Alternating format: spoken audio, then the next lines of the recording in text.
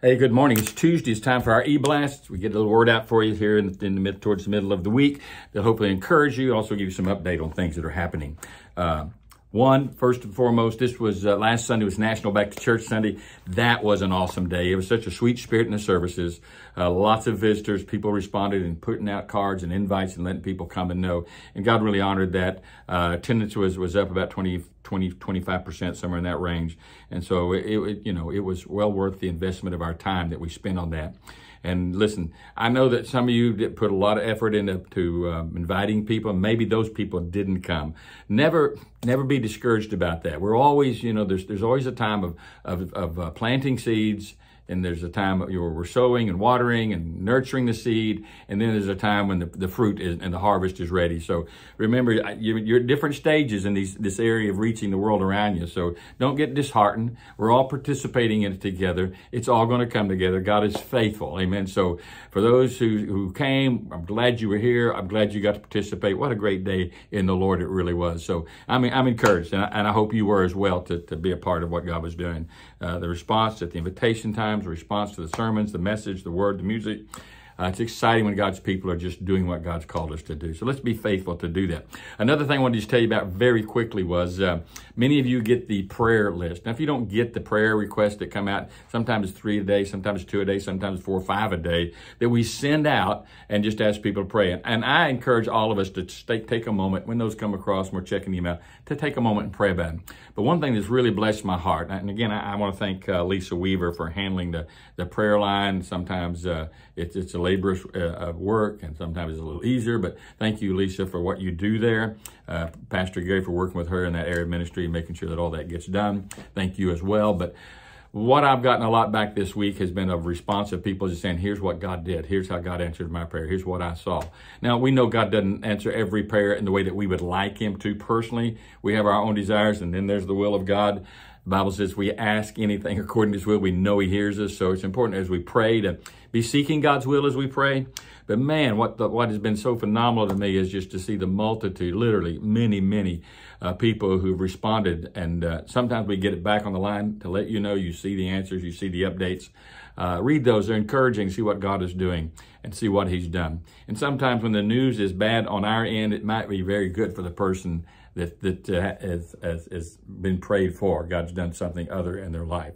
Uh, sometimes it's taking you home. There is no greater blessing than that as much as it grieves us on this side of eternity, uh, listen, everybody in heaven is absolutely 1,100% content there, not wanting to make a return journey. I can guarantee you, uh, because of the glory of the presence of God. And we're looking forward to that ourselves. But man, God is faithful and God is good, and He's met so many things and done so many things. Let's continue to be very gracious and thankful for what he's done. Continue to let us know when God answers those prayers and how he answers them as well. We appreciate it. A word that was on my heart last night as I was praying about what to to share today with you uh, uh in regard to just in, to encourage you, because that's what I, uh, what I really like to do on these e-blasts, just to give you a word. Psalms 37 is what came to my heart. There's a passage that said, "The steps of a man are ordered or established." Depending on the translations, might say the good, the steps of a good man or a righteous man are established by the Lord, and He delights in them.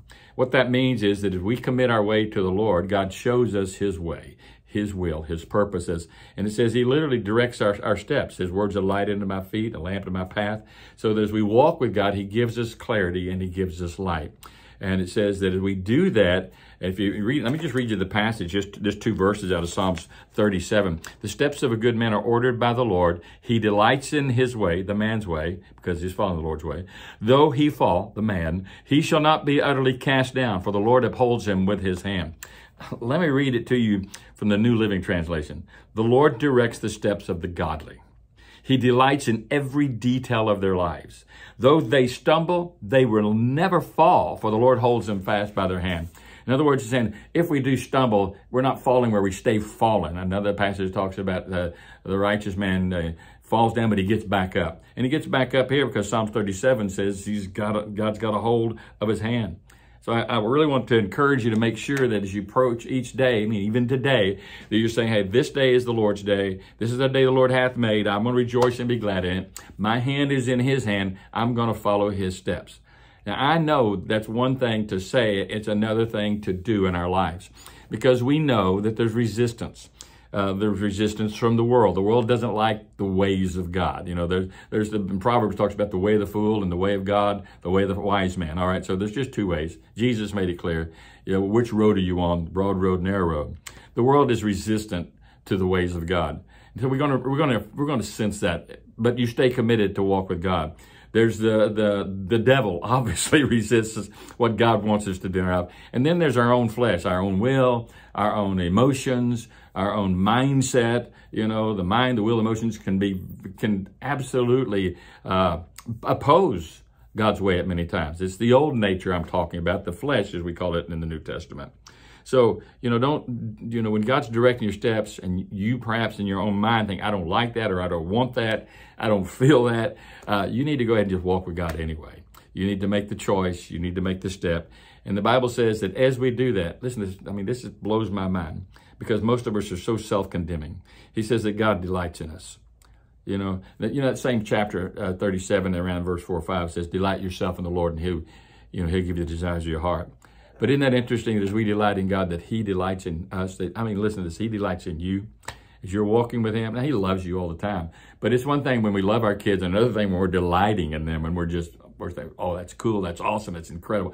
That God does hold you in that same regard, that he, he has this passion for you and this love for you, so that as you do, you do what he tells you to, it delights the very heart of the God of all creation. I mean, boom, that, that's mind blowing. All right. So I just want to encourage you today to realize how much God really does love you and how much he really is holding your hand and how much he desires to give the leadership in your life that just leads you to, to grace and leads you to victory and leads you to where he is. And if you do stumble this process, Bible says we're not utterly cast down. We're not, we don't fall headlong is what one passage puts it. We fall down. We have the Lord holding us, so we get back up. So if you're down, get back up. If you're struggling, refocus your heart, your mind, your affections on the, on the ways of God. And know this, that the Lord directs your steps today and he delights in it. So you delight in him. He'll show you what his will is and he delights in you. What a boom, man, crazy. Just uh, God loves you. That's all I can say. And I'll close it there. I want to remind you one last thing is that uh, we do have our marriage retreat. Uh, we did have the cutoff, but we do have some rooms available if you want to come. I think we have 30 couples that are committed right now to be there. Man, what a glorious and great time it's going to be.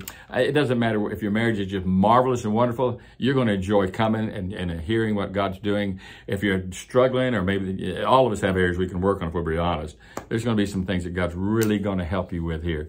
And uh, I am excited about the conferences coming up. So about eight, nine, ten days away. Get it settled today. Make a phone call. Get the time off. You'll be a better person for it. Your marriage will be a lot better as well. I love you.